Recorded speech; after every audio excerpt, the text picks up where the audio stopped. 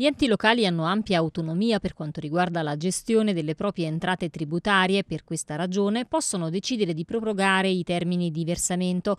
In pratica si sposta la data di scadenza dei tributi. Inizia così la nota stampa del consigliere di minoranza del comune di Castellabate Luigi Maurano riguardo ai pagamenti delle tasse comunali. Il versamento delle imposte, specialmente l'IMU, si sarebbe potuto rinviare, sottolinea Maurano, ma l'amministrazione ancora una volta sembra essere sorda al grido dei cittadini.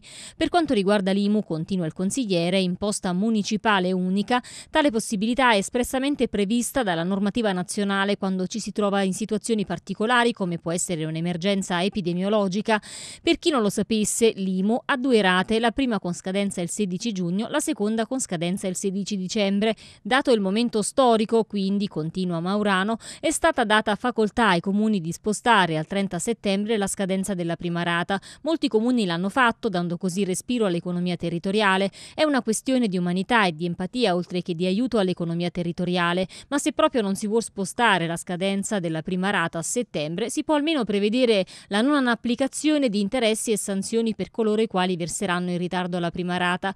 Queste due azioni di aiuto ai cittadini vanno messe in campo con un atto ufficiale di Consiglio Comunale. Senza questo atto non c'è in pratica nessuno spostamento della scadenza della prima rata IMU, quota comunale, e nessuna agevolazione agevolazione in materia di interessi e sanzioni. La settimana scorsa abbiamo presentato un'apposita proposta, sottolinea il consigliere Maurano, affinché l'amministrazione aiutasse i cittadini in questo difficile periodo storico, ma purtroppo, come sempre, si sono dimostrati sordi al grido di dolore dei cittadini. Hanno solo prodotto uno sterile e anonimo comunicato stampa con il quale hanno ribadito che la prima rata dell'IMU scade il 16 giugno e che in questi giorni stanno inviando il modello di pagamento F24. Nessuna conferenza stampa diretta diretta o indicazioni chiare ai cittadini che in questi giorni tra mascherine e caldo vagano per gli uffici in cerca di risposte ufficiali e soprattutto precise. Un comunicato stampa datato 15 giugno per dire che si deve pagare entro il 16 giugno. Che efficienza amministrativa, sottolinea ancora il consigliere Maurano.